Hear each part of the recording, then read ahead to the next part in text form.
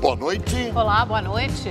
A troca de comando na Polícia Federal do Rio de Janeiro causa polêmica entre o presidente Jair Bolsonaro e parte da instituição.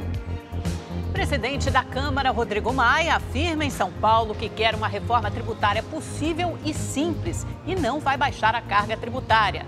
E você vai ver também. Um dos filhos adotivos da deputada federal Flor Delis disse à polícia que recebeu mensagem do celular da mãe pedindo para que ele matasse o pastor Anderson do Carmo. Em Belo Horizonte, o hospital público especializado no tratamento de câncer vai ficar sem atender pacientes com casos de urgência por falta de médicos.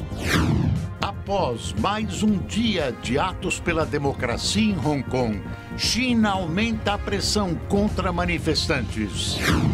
Cidade do Medo. Panelas de pressão abandonadas na rua e no metrô causam tensão em Nova York. Essas e outras notícias você acompanha em instantes no Rede TV News.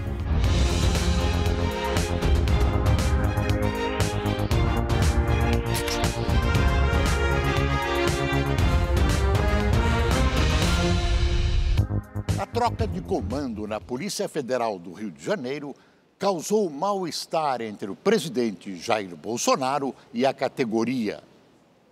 A saída de Ricardo Saad foi anunciada ontem pela Polícia Federal. Em nota, a instituição informou que a troca de diretoria na Superintendência do Rio de Janeiro era estudada há alguns meses e foi motivada por desejo do próprio policial de ser transferido para Brasília.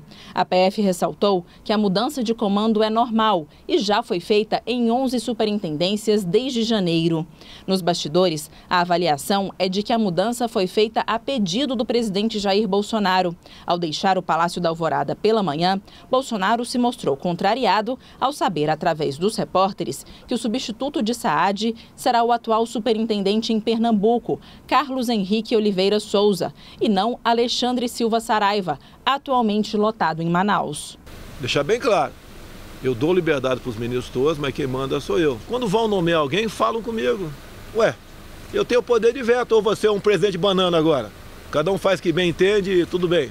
A declaração de Bolsonaro foi muito mal recebida dentro da Polícia Federal. Integrantes da instituição com os quais eu conversei avaliam que a fala é uma afronta à PF, que passa a mensagem de falta de autonomia e dá a entender que o presidente poderia, inclusive, interferir no resultado de operações. Com a repercussão negativa, o presidente mudou o tom horas depois. Tanto faz para mim. Eu sugeri o de Manaus e o de Pernambuco não tem problema. O mal-estar atinge diretamente o ministro da Justiça, Sérgio Moro, que é quem responde em última instância pela PF. Moro já está numa saia justa. Ele precisa dar um parecer técnico sobre possíveis vetos ao projeto de lei de abuso de autoridade, que aguarda sanção presidencial. O ministro sempre teve restrições à proposta, que pode limitar investigações e operações policiais. Bolsonaro disse que pode vetar o artigo que proíbe que presos sejam algemados caso não ofereçam risco. No primeiro momento, um policial militar, se é que isso está lá, eu não sei se isso está lá. Tá? Caso vier algemar alguém de forma irregular, tem uma cadeia para isso. Não pode existir. No resto a gente vai ver, vai analisar. O presidente também falou sobre a indicação do novo Procurador-Geral da República. Ao comentar o assunto, ele disse que o Ministério Público não tem que proteger minorias. Eu tenho dito sempre o seguinte, que as leis têm que ser feitas para proteger, proteger as maiorias. Eu estou errado? Eu quero ver, quero ver se estou errado.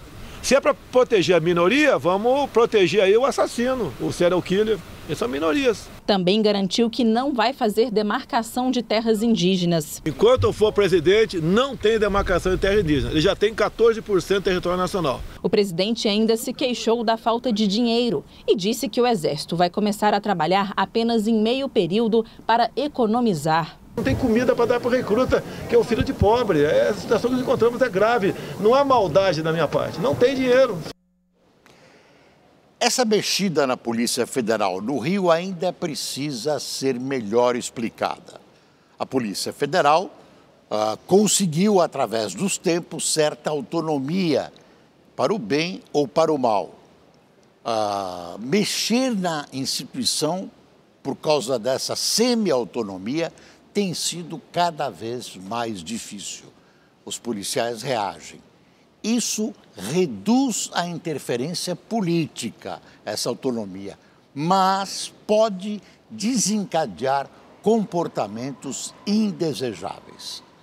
A lei do abuso de autoridade, pelo que se informa, vai receber vários vetos do presidente da República. Do jeito que está, parece ter sido redigida pelo crime organizado. A ministra Carmen Lúcia, do Supremo Tribunal Federal, arquivou o pedido apresentado pelo PT para investigar o ministro da Justiça, Sérgio Moro, por abuso de autoridade. O PT alegou que, ao supostamente sugerir a destruição de provas no caso das trocas de mensagens atribuídas ao ministro e integrantes do Ministério Público, entre eles o coordenador da Força Tarefa da Operação Lava Jato no Paraná, Deltan Dallagnol, Sérgio Moro teria cometido o abuso de autoridade. Mas a relatora do pedido no Supremo, ministra Carmen Lúcia, decidiu pelo arquivamento ao seguir a posição da Procuradora-Geral da República, Raquel Dodge, para quem não existe justa causa nem provas suficientes para investigar o ministro. Procurado, o PT não comentou o arquivamento da ação. Os vazamentos não podem valer de prova para nada porque foram obtidos ilegalmente. Além disso, uh, Sérgio Moro não praticou nenhuma ilegalidade nesses vazamentos. O PT, é claro, quer, além da liberdade de Lula, fulminar a Lava Jato e se vingar de Sérgio Moro, peça fundamental na Lava Jato e que colocou a nu a corrupção que o PT patrocinou durante anos do governo. O Ministério Público Federal processou dois ex-diretores da Dersa por prejuízo milionário em cartel de obras em São Paulo. Os ex-diretores da Dersa Paulo Vieira de Souza, Paulo Preto e Mário Rodrigues Júnior são acusados de improbidade administrativa que geraram enriquecimento ilícito e danos milionários aos cofres públicos. A força-tarefa da Lava Jato em São Paulo cobra o ressarcimento de mais de 580 milhões de reais pelo prejuízo causado pela formação de um cartel nas obras do trecho sul do Rodoanel. Paulo Preto é apontado como o operador de propinas do PSDB. Os procuradores cobram ainda restituição de mais de 21 milhões de reais pagos aos ex-diretores da Dersa na forma de propina. A ação do Ministério Público Federal aponta que 18 construtoras também participaram do esquema de corrupção e cartel. O governo de São Paulo anunciou hoje que vai investir um bilhão e meio de reais no projeto de despoluição do Rio Pinheiros. O novo plano de despoluição, que tem 25 quilômetros de extensão, prevê o loteamento da bacia entre as regiões oeste e sul de São Paulo. 14 empresas farão as obras de limpeza do rio. A Sabesp, companhia de saneamento básico, será responsável pela licitação dos contratos que devem ser assinados até o final do ano. É um novo formato também uh, de gestão. Você paga por resultado, uh, não é por contratação.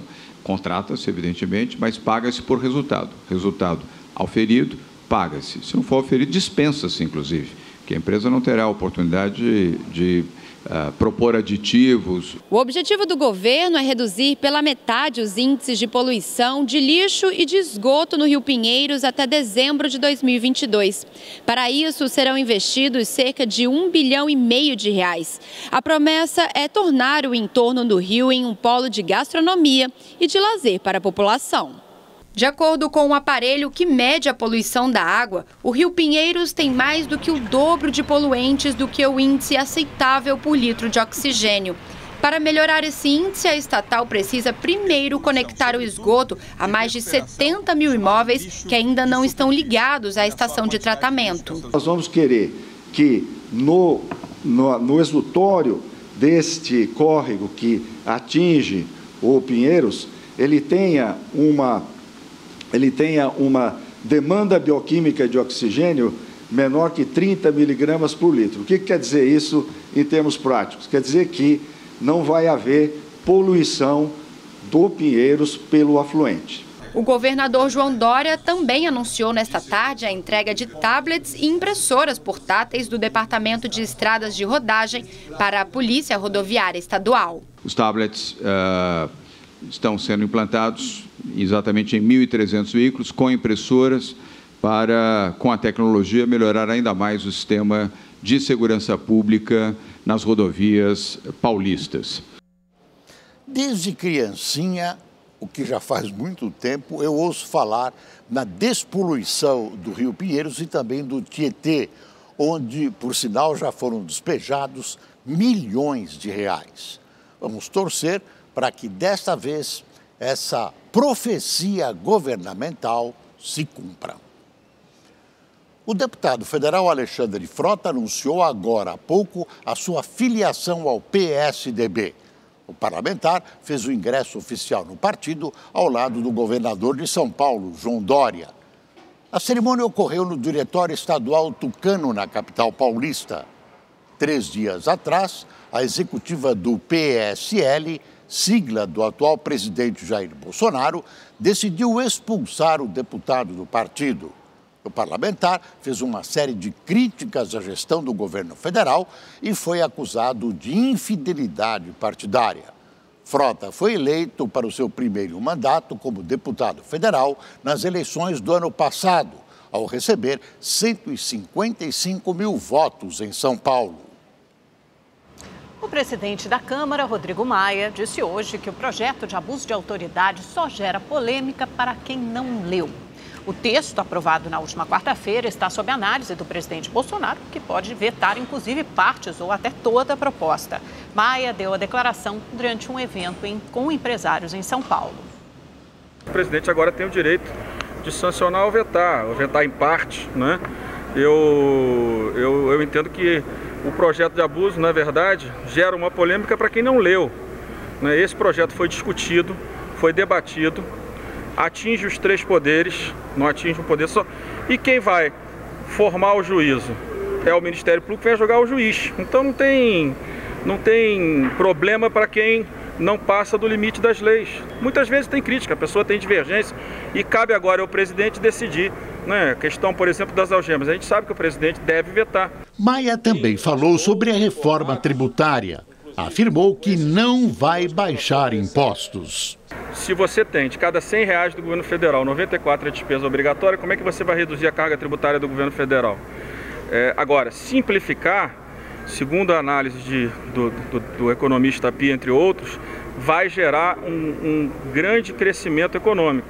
Então, esse crescimento econômico vai gerar um aumento de arrecadação, vai gerar um aumento, né, esse crescimento vai gerar um aumento da, da contratação, quer dizer, da geração de emprego. Nós vamos conversar agora com a nossa comentarista de economia, Salete Lemos. Boa noite, Salete. Nós sabemos que hoje a carga tributária está no pico histórico de 37 ou 35, 35% do PIB, enquanto a média mundial fica em 34%. Você acredita que com a reforma tributária possa ainda haver aumento de impostos? As desconfianças são grandes e são legítimas. Boris, boa noite. Boa noite, Amanda. Boa noite. Linda, boa noite a você que nos acompanha aqui no Rede TV News. É legítimo porque, gente, nós brasileiros há muito tempo, né? Nós estamos acompanhando essa escalada de cobranças tanto da parte do governo federal quanto de estados e municípios, de uma verdadeira corrente do salve-se quem puder. Imposto é coisa séria. E olha, não são só os impostos, são cobranças de taxas, contribuições e são criadas do dia para a noite. Acabam se tornando um verdadeiro pesadelo para todos nós contribuintes, quer sejamos pessoa física ou jurídica, que são as empresas. Ok, ok, né? Como diz o Nelson Rubens, a reforma tributária em discussão agora não deve diminuir a carga tributária. Ah, mas o dinheiro arrecadado não deveria ter retorno. Ou seja, a questão talvez fosse: nós pagamos imposto para quê mesmo? Na verdade, gente, essa questão tributária no Brasil tem contado há anos com discussões equivocadas, a começar pelo conceito de cobrança. Vamos lá? Imposto de renda deveria ser cobrado sobre renda e não sobre salário? Ou não? E aí, senhores, tudo é possível, desde a cobrança de 27% no contra-cheque de salários até a não correção da tabela progressiva. Hoje, nós estamos com uma defasagem de quase 100% na tabela progressiva que cobra imposto do seu salário todo mês. Se fosse corrigida, o desconto de imposto de renda só seria aplicado em salários de mais de 4 mil reais e não de 1.900 como é hoje. Quando o assunto é imposto, contribuição e taxa, eles arrumam um jeito de aumentar a carga tributária. Amanda? Pois é, baixar nem pensar. Nem pensar. Obrigada, Salete. Boa noite. Hoje, na última reportagem da série Fome, vamos mostrar a história de pessoas que superaram a falta de comida e agora promovem trabalhos sociais para ajudar aqueles que nem sempre têm o que comer.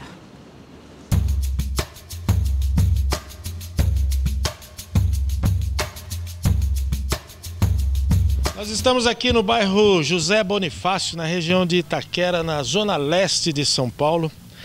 Viemos conhecer o trabalho do Tenildo, que é um motorista executivo aposentado e que há três anos distribui comida para quem está passando fome nas ruas aqui da capital. Tudo bem, Tenildo? Bom, boa noite. Tem comida hoje, é verdade? É? Tem, graças a Deus tem.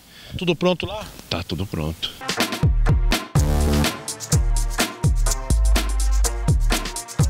O Tenildo não para. Sobe e desce as escadas enquanto recebe as doações que vizinhos e parceiros do trabalho social trouxeram para ajudar. Trabalhamos aí já tem uns três anos juntos, né? Fazendo esse trabalho.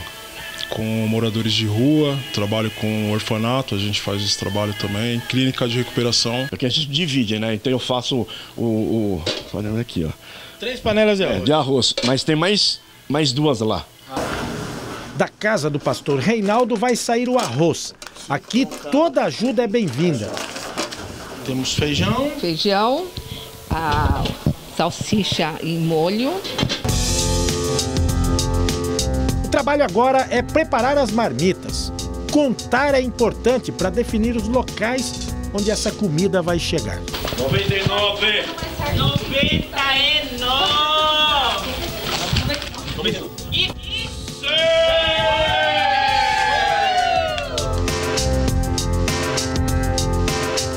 Com as marmitas prontas, o grupo sai pelas ruas. Tenildo vai num dos carros. Ele sabe onde tem gente com fome por aqui. Após a entrega de algumas marmitas sem sair do carro, ele chega perto de uma mata onde vivem moradores de rua e dependentes químicos. O principal objetivo do Tenildo e dos amigos foi alcançado mais uma vez: dar um prato de comida a quem passa fome nas ruas. O maior motivo para essa vontade toda está na humilhação que ele e a família passaram quando ele era menino. Eu já passei necessidade, né? Não tinha o que comer, é, chegamos até comer, tomar água com açúcar e farinha. Então eu falo assim, é muito humilhante, né? Quando você passa por uma situação e você não vê as pessoas estender a mão.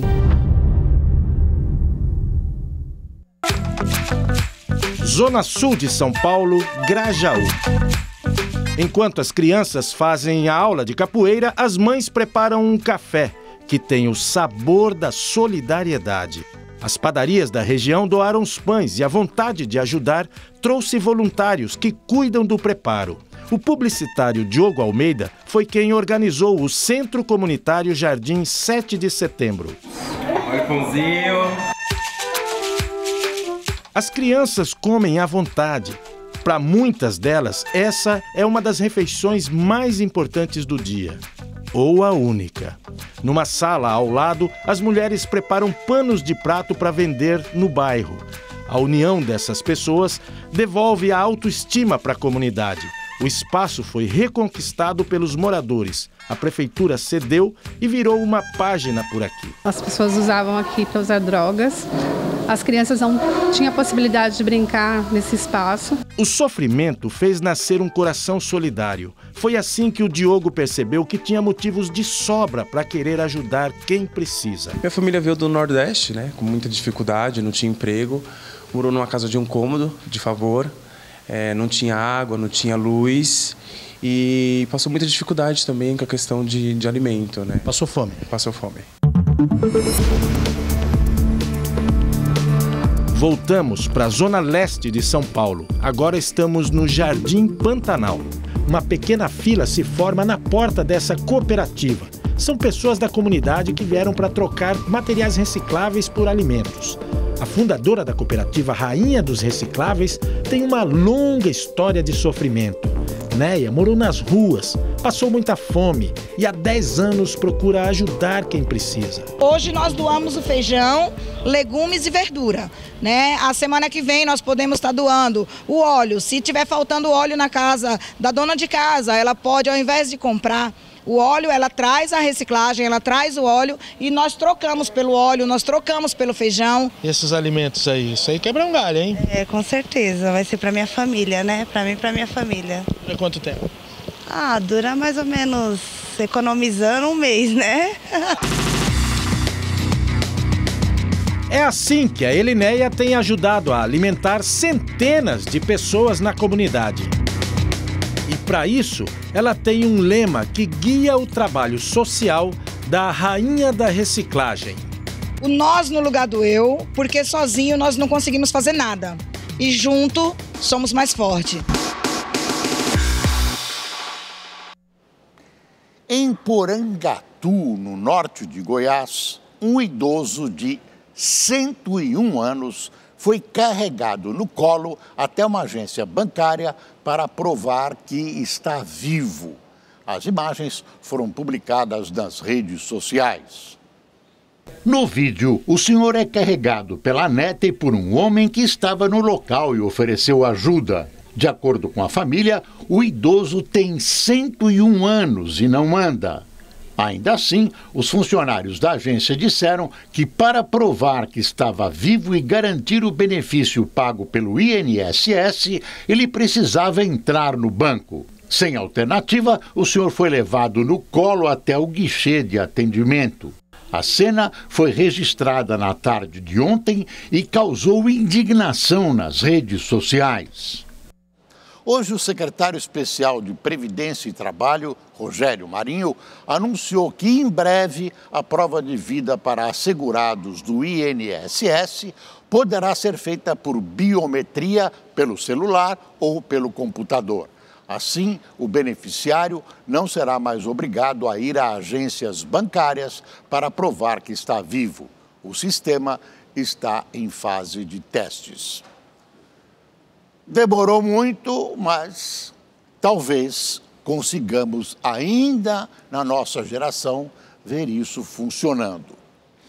Quando o homem está chegando a Marte e na era dos computadores, o governo impõe às pessoas essa loucura doentia de ter que fazer prova de vida comparecendo a uma agência bancária. Veja, eu estou vivo. Isso é o atraso. Isso é uma vergonha. Silenciosa e pouco diagnosticada, a osteoporose mata todos os anos 200 mil pessoas no Brasil. A prevenção e cuidados ao longo da vida são fundamentais para evitar a doença. Ela age discretamente. Provoca diminuição da massa óssea. Não há sintomas. A maioria só descobre o diagnóstico quando ocorre a fratura. É um indivíduo que tem uma fratura vertebral espontânea, é um indivíduo que cai da própria altura andando na rua e tem uma fratura do punho ou uma fratura do quadril. A doença ela está nitidamente associada ao envelhecimento e a alguns fatores de risco que a gente considera muito importantes. Riscos como ingestão excessiva de álcool, cigarro e uso de medicamentos à base de corticoides ou cortisona. As mulheres são mais suscetíveis, principalmente na menopausa, quando ocorre a queda de estrogênio, o hormônio que controla o ganho e perda da massa óssea. Dona Júlia, de 76 anos, descobriu a doença aos 50. O diagnóstico precoce foi importante para evitar fraturas. É isso que é o meu medo, de precisar de, de, de qualquer coisa, não poder levantar. Aí eu tomo muito cuidado para não cair A manicure Joelma cuida da mãe e dela também, já que há uma tendência a ter osteoporose pelo histórico familiar. Cuido da alimentação, é, tomo é, colágeno também como ela e caminho, que o médico fala que é uma das coisas mais importantes a fazer, fazer caminhada. Em menor proporção, os homens também são atingidos. 10% dos que estão acima dos 60 têm a enfermidade. O Brasil gasta anualmente 1,2 bilhão de reais em tratamentos relacionados à doença. Estima-se que 10 milhões de brasileiros sofram de osteoporose. A Organização Mundial de Saúde definiu há pouco tempo a osteoporose como uma doença negligenciada e pouco diagnosticada. Para aumentar a longevidade da população, é fundamental adotar algumas medidas, como uma alimentação rica em cálcio, atividades físicas e suplementação da vitamina D. Só que esses cuidados devem ser ao longo da vida. Se durante a infância e adolescência eu construir um bom banco de ossos, chances há de que com a perda eu ainda mantenha um osso saudável. Os indivíduos idosos que praticam atividades físicas regulares, eles conseguem reverter ou lentificar a perda óssea que acompanha o envelhecimento e diminuir a chance de ter osteoporose. A vacinação contra o sarampo foi prorrogada na capital paulista até o final de agosto. Jovens de 15 a 20 anos e bebês de 6 meses a um ano de idade têm agora até o dia 31 de agosto para tomar a vacina. A decisão de prorrogar o prazo se deve à baixa imunização do público-alvo e pelos últimos números dos casos da doença. O estado de São Paulo teve aumento de 36% em apenas uma semana. Dos 1.319 casos confirmados, 997, cerca de 75%, se concentram na cidade de São Paulo. Além da capital, outros 49 municípios registraram casos da doença no estado. E a campanha também será estendida, mas somente para bebês. O número de casos de sarampo em São Paulo em 2019 já é o maior registrado em duas décadas, segundo a Secretaria de Saúde. O Hospital Público Estadual Alberto Cavalcante, especializado no tratamento de câncer em Belo Horizonte, vai ficar até domingo sem atender pacientes com casos de urgência. Dos quatro médicos que deveriam estar no plantão, apenas um está trabalhando. O pai da Michele, seu Juscelino, de 72 anos, está tratando um câncer. Já são mais de dois meses de espera por uma cirurgia. A família faz um desabafo. Ele já estava dentro do bloco, eles tiraram ele do bloco, não fez a cirurgia porque não tinha CTI, porque chegou duas pessoas infartadas e precisava dar a vaga mais do que ele. Falta médico, o atendimento é demorado. O hospital, que é referência no tratamento de câncer e também atende urgência e emergência, vai ficar fechado hoje e amanhã. Falta plantonista na enfermaria e dos quatro médicos escalados para o plantão, apenas um está trabalhando. São vários pacientes já internados que ele tem que avaliar, cuidar, medicar. Além do mais, tem uma sala de complexidade que é uma UTI, onde tem pacientes mais críticos que ele não pode ficar abandonando a sala, né? Tem que fazer esse acompanhamento contínuo. O técnico de enfermagem que trabalha no hospital conta que a situação é crítica. Por causa da falta de profissionais, alguns pacientes esperam por atendimento por até 24 horas, mesmo em situações consideradas urgentes. Infelizmente, uma escala defasada de médicos provocou a morte, né? É, fez com que uma pessoa em estado grave viesse a falecer no, no, em frente ao guichê.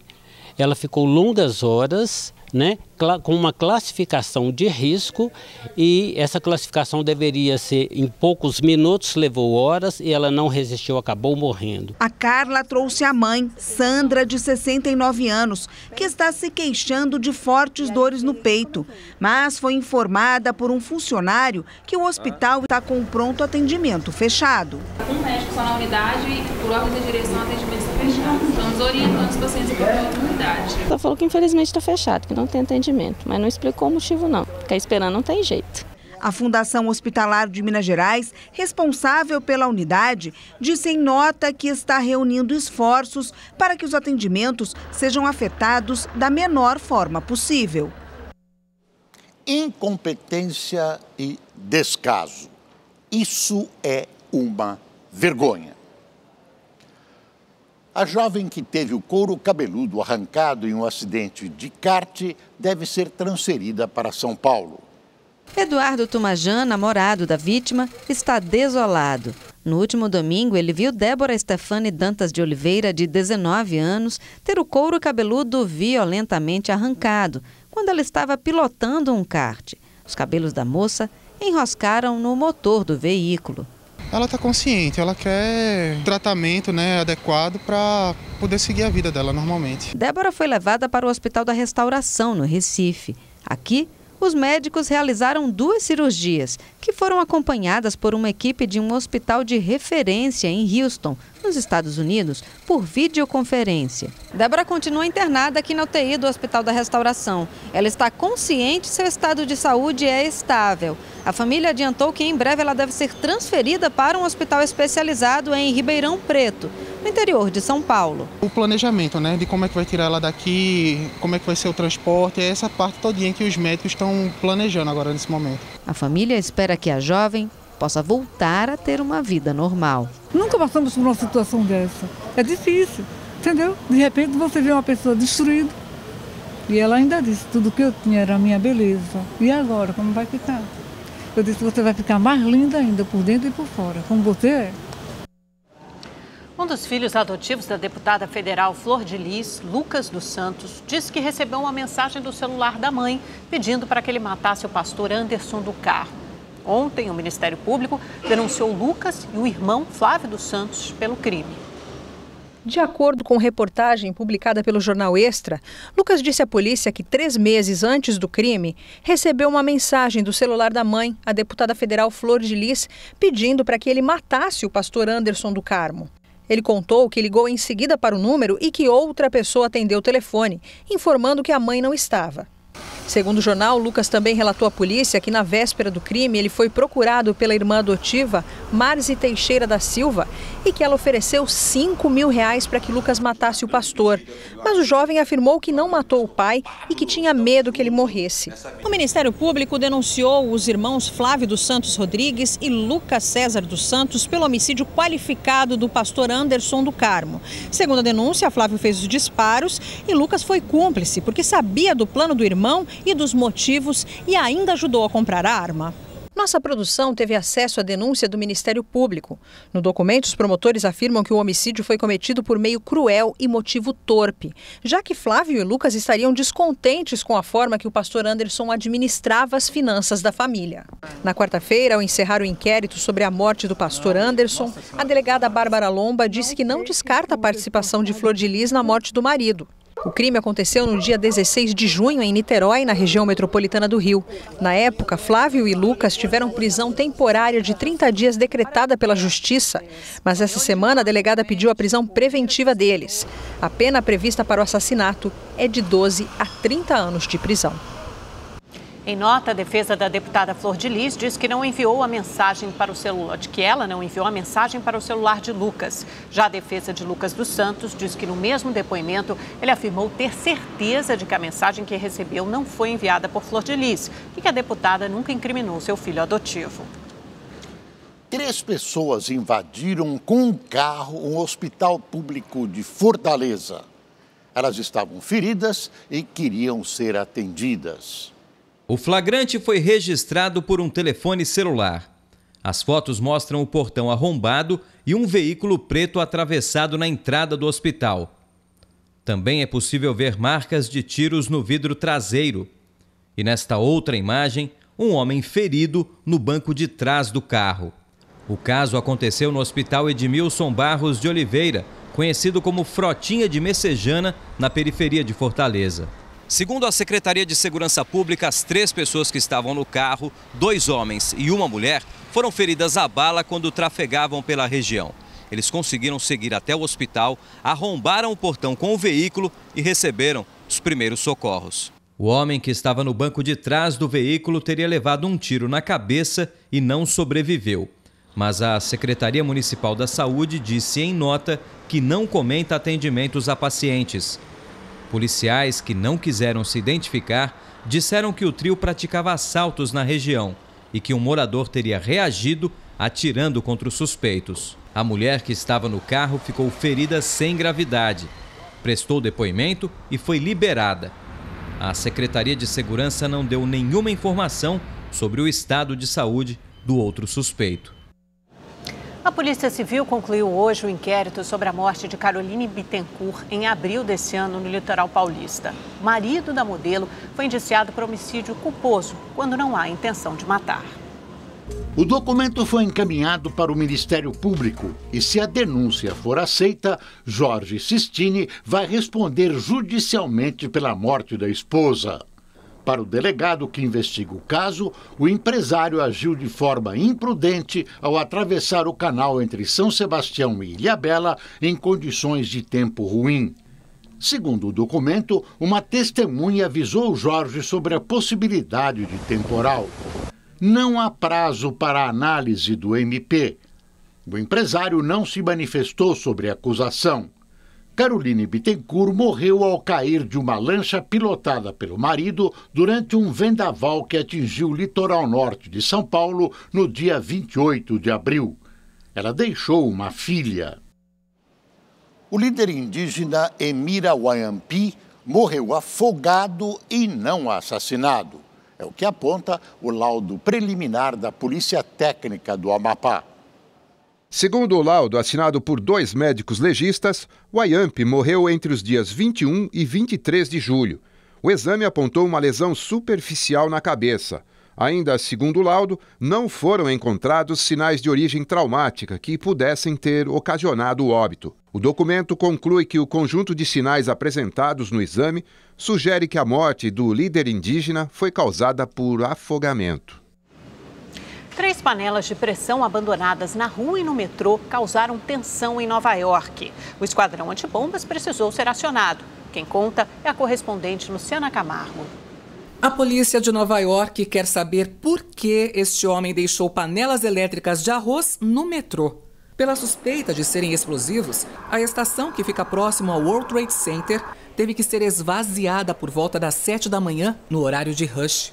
Várias linhas do metrô foram parcialmente suspensas, o que atrasou a rotina de muita gente. A qualquer hora e em todas as estações de metrô de Nova York, o alto-falante faz um aviso aos usuários para informar a polícia ou a um funcionário sobre qualquer objeto suspeito.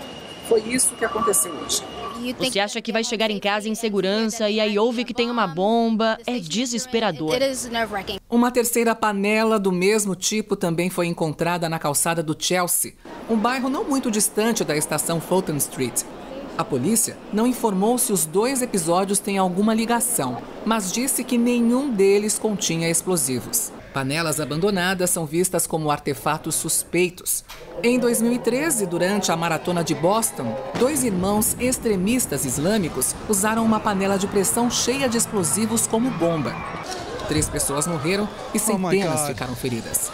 Luciana Camargo, de Nova York, para o Rede TV News. No fim da tarde de hoje, uma multidão realizou mais um ato em Hong Kong contra o governo. O protesto foi pacífico. Já na Austrália, houve confusão e manifestação pró-Pequim e pró-Hong Kong. As informações com o correspondente da Rede TV, Marcelo Espíndola.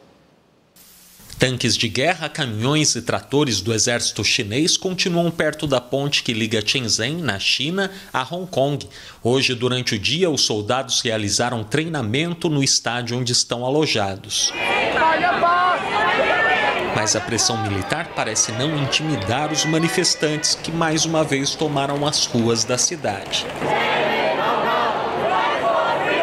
Sem serem atendidos pelo governo, os manifestantes agora pedem ajuda internacional. Eles acreditam que principalmente o Reino Unido e os Estados Unidos podem impor sanções contra as autoridades chinesas responsáveis por suprimir direitos e liberdade em Hong Kong.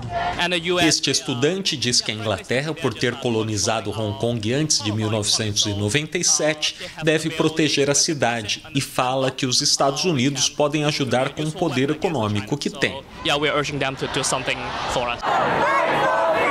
Por aqui, o ato hoje foi pacífico. Já em Melbourne, na Austrália, o clima ficou tenso. Manifestantes pró-Hong Kong e pró-Pequim ficaram frente a frente e houve muita discussão. Em entrevista à imprensa, o superintendente da polícia de Hong Kong disse que os oficiais têm enfrentado muita pressão e longas horas de trabalho. Ele aproveitou para lembrar que agora atos violentos no aeroporto estão passíveis de prisão perpétua. Life imprisonment. Autoridades também já proibiram manifestantes de marcharem por grandes avenidas no domingo, mas eles ainda parecem ter fôlego para ir longe e terminaram a assembleia de hoje repetindo por 15 minutos sem parar: fique com Hong Kong, lute pela liberdade. Marcelo Espíndola, enviado especial a Hong Kong para o Rede TV News. Hong Kong é muito importante para a China. É o braço capitalista financeiro de Pequim desde antes de ser devolvido ao país comunista pela Inglaterra. Não está sendo fácil para os chineses, digamos, amestrar, como eles diriam, a população acostumada à democracia. Mas o governo chinês vai tolerar esses movimentos até certo ponto. Depois, vai colocar suas tropas em ação, o que pode provocar um morticínio sem precedentes. A Dinamarca afirmou hoje que a Groenlândia não está à venda. A declaração foi uma resposta ao presidente americano Donald Trump, que teria demonstrado interesse em comprar a maior ilha do mundo para expandir o território dos Estados Unidos. A ideia de Donald Trump foi revelada pelo jornal The Washington Post. Segundo a reportagem, durante reuniões, o presidente teria perguntado a consultores se os Estados Unidos poderiam adquirir a Groenlândia. O jornal ainda afirmou que já foram discutidos na Casa Branca assuntos como a legalidade da compra, o processo para incorporar um território e também de onde sairia o dinheiro para aquisição.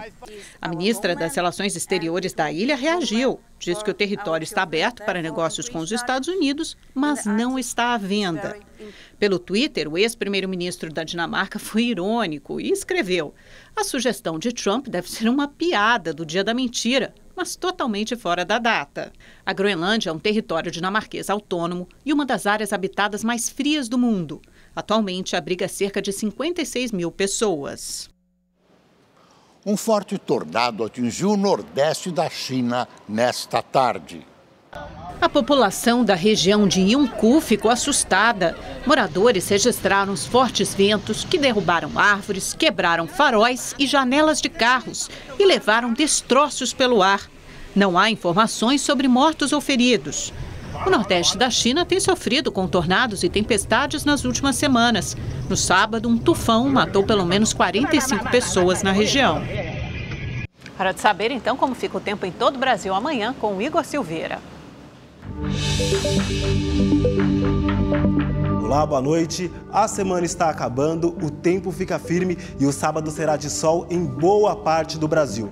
No Nordeste, um sistema de alta pressão continua mandando umidade e frio para o sul da Bahia e nas demais áreas o sol aparece entre nuvens sem possibilidades de chuva. No Centro-Oeste, o tempo fica firme em toda a região e a temperatura segue estável. Em Cuiabá, a máxima pode chegar aos 35 graus. No Sudeste, o sol aparece entre nuvens em Minas Gerais e no Espírito Santo. Nas demais áreas, o tempo fica firme sem possibilidades de chuva. No sul, a previsão de pancadas isoladas no início da tarde, principalmente nessa área mais escura do Rio Grande do Sul. No restante da região, o sol predomina e a temperatura continua estável. Em Florianópolis, a máxima não passa dos 24 graus e em São Paulo, a temperatura pode chegar aos 27 graus. E se você quer saber mais sobre a previsão do tempo na sua cidade, é só entrar no site da RedeTV. Eu fico por aqui, uma ótima noite e até amanhã. Em Rondônia, a falta de chuva pode parar a travessia de balsas e embarcações no Rio Madeira. No horizonte tem água a perder de vista.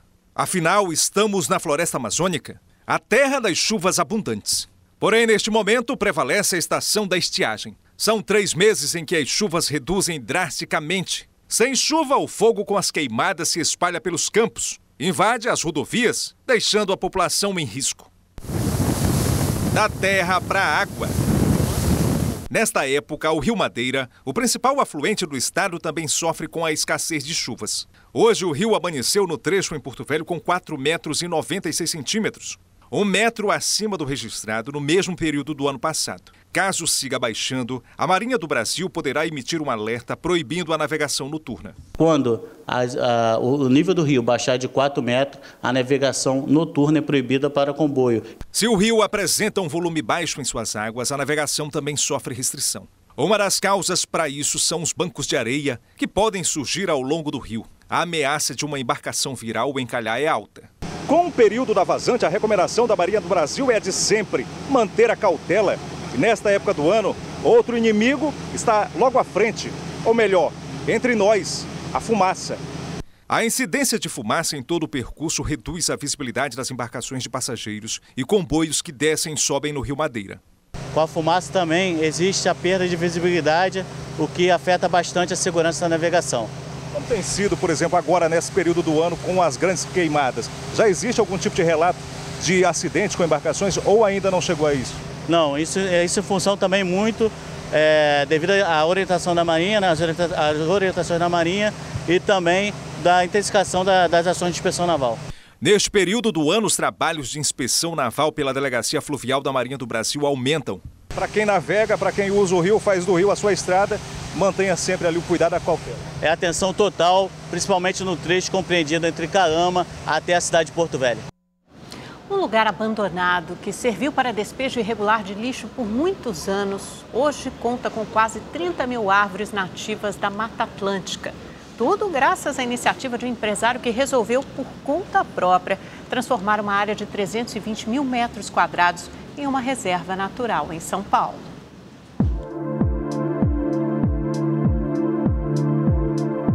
Tá vendo essa quantidade de árvores? Pois é, há 16 anos elas simplesmente não existiam. Ao todo, são 28.883 árvores plantadas de 164 diferentes espécies. As árvores deram vida não só para quem passeia ou se exercita aqui pelo parque, mas também para os motoristas. É que toda essa área verde fica no meio de uma movimentada avenida aqui da Zona Leste de São Paulo. Do alto, o que se vê é um corredor verde em meio à paisagem urbana. E o responsável por essa transformação toda foi o seu Hélio, de 68 anos. Aqui era uma área suja, estacionamento dos comerciantes, não era parque, era uma área pública. E numa das minhas caminhadas daqui eu resolvi mudar.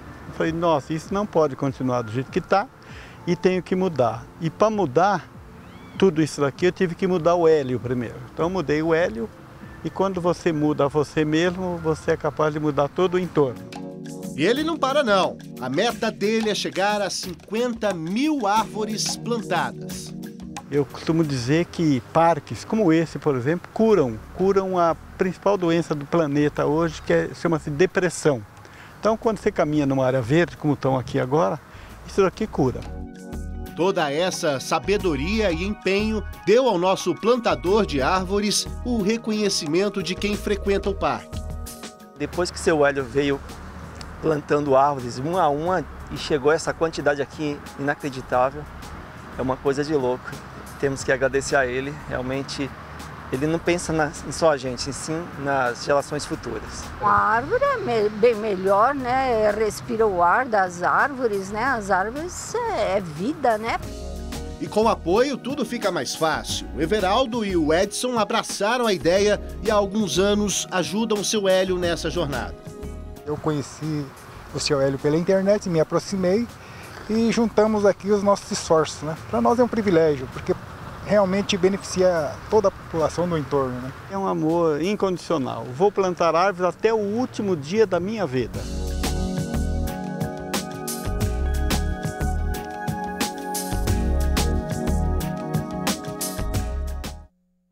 Parabéns, maravilhoso.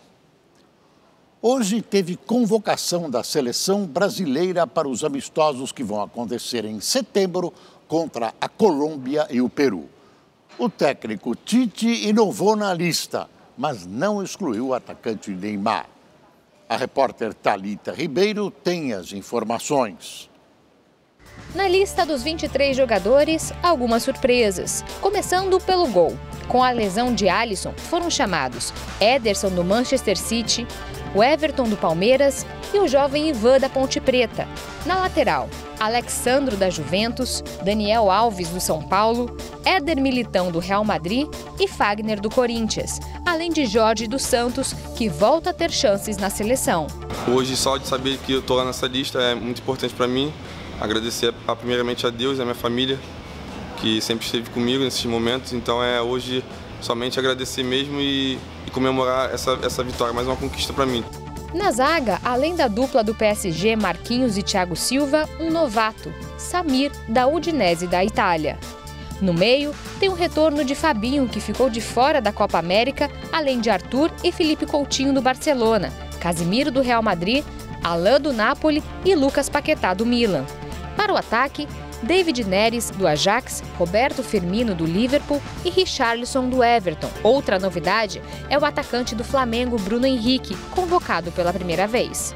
Mesmo sem atuar em partidas oficiais e no meio do embrólio de onde vai jogar nessa temporada europeia, o atacante Neymar, que ainda pertence ao Paris Saint-Germain, segue com prestígio na seleção e foi novamente chamado por Tite após uma longa conversa com o craque. Esse Tite eu estou feliz, estou bem, já venho trabalhando uh, normalmente a uma sequência de tempo. Um atleta do nível, da qualidade do Neymar, a seleção brasileira e eu, enquanto técnico, não vou prescindir nunca. O ator americano Peter Fonda morreu hoje aos 79 anos. Ele ficou famoso pelo filme Easy Rider, ou Sem Destino, um marco na contracultura do fim dos anos 60. Peter Fonda ganhou um Globo de Ouro e foi indicado duas vezes ao Oscar. Nasceu em Nova York e fazia parte de uma família de atores, filho de Henry Fonda e irmão de Jane Fonda. Começou a carreira na Broadway e os elogios e prêmios o levaram ao cinema. Peter Fonda tem ainda na carreira filmes mais recentes, como Os Indomáveis, Motoqueiro Fantasma e Fuga de Los Angeles. Segundo a imprensa local, o ator tinha câncer, sofreu uma insuficiência pulmonar e morreu em casa em Los Angeles. Ele deixa dois filhos. O Rede TV News fica por aqui. Boa noite, bom fim de semana. Boa noite e até amanhã.